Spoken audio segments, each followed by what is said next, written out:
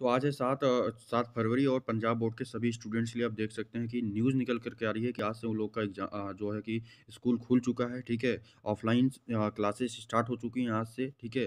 तो बहुत ये बहुत ज़्यादा आप बोल सकते हैं कि सेंसिटिव मैटर है क्योंकि अभी कोविड का टाइम भी चल रहा है, तो साथ-साथ में जितने भी स्टूडेंट्स का स्कूल खुल चुका है और जो लोग स्कूल जा रहे हैं, उनसे मेरी ख़ास निवेदन रहेगी कि आप लोग सोशल डिस्टेंसिंग का और कोविड गाइडलाइंस का पालन ज़रूर करें।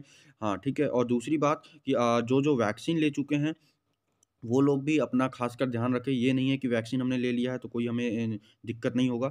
ऐसी बात नहीं है, आप लोग को कोविड गाइडलाइंस का पूरा पालन रखना है और वहीं पे एक खबर निकल के आ रही है कि अभी बच्चों का बहुत ज़्यादा सवाल आ रहा है कि अभी उन लोग का सिलेबस नहीं कंप्लीट है और दूसरी बात ये आ रही है कि जब उन्होंने ऑनलाइन एग्ज़ाम ऑनलाइन पढ़ाई की तो आज उनका एग्ज़ाम जो है वो पंद्रह पंद्रह फरवरी से ऑफ़लाइन क्यों लिया जा रहा है? बच्चों के तरफ़ से ये बहुत ज़्यादा सवाल आ रहा है कि आखिर ऐसा क्यों किया जा रहा है?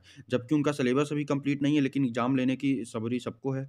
तो इसलिए अभी इस पर कोई भी न्यूज़ नहीं आया हुआ इस टॉपिक पे लेकिन बच्चों का बहुत ज़्यादा सवाल आ रहा है। टेलीग्राम ग्रुप में भी बात करें, पर्सनल मैसेजेस पे भी बात करें, ईमेल्स पे भी बात करें, ठीक है? तो अभी इस पर कोई भी महाराष्ट्र बोर्ड की तरफ़ से कोई भी निर्णय नहीं आया हुआ है, कोई भी सर्कुलर जारी नहीं हुआ है, ठीक है? आप लोग का ये देख सकते हैं कि पूरा कोवि कोविड गाइडलाइंस का पूरा रिस्ट्रिक्शंस का आपका ये पीडीएफ मिला हुआ है यहाँ पे, पीडीएफ दिया हुआ है सरकार ने, ठीक है?